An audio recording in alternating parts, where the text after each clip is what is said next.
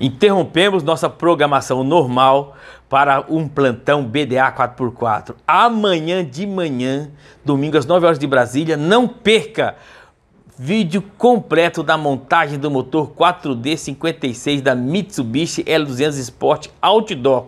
Vídeo completo, desde o momento que a caminhonete chegou à oficina, passando pela desmontagem, vocês mostrando, eu demonstrando o dano dentro da retífica do motor até a montagem final com a melodia. Não perca amanhã mais um vídeo sensacional de montagem de motor e agora o motor Mitsubishi 4D56 para combinar com o meu, boné indefectivelmente vermelho, beleza?